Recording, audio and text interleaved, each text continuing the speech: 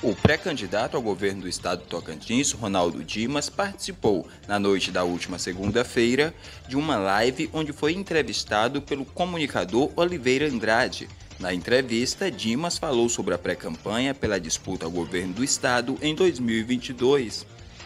Bom, mas falo com segurança. Se governo de continuidade, é o marasmo total e mais quatro anos de atraso.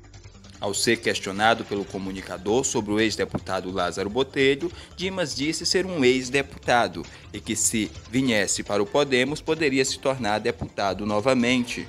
Lázaro, Ex-deputado. ex-deputado. Você quis dar condição esses dias para ele. Se vier para o Podemos, pode ser que ele volte a ser deputado, né? Andrade provocou Dimas e questionou se Lázaro já não tinha recusado esse convite publicamente.